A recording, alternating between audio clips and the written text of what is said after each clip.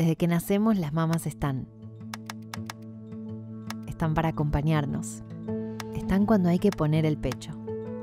Están cuando empezamos a descubrir nuestro cuerpo y el de otras personas.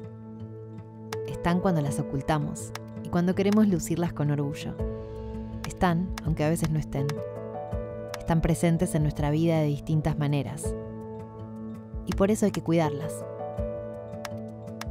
Es hora de estar para ellas. La salud mamaria es responsabilidad de todas las personas.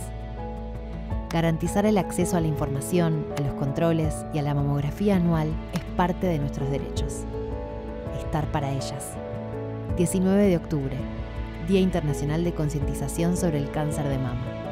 Entérate cómo estar para ellas en nuestras redes sociales. Avon.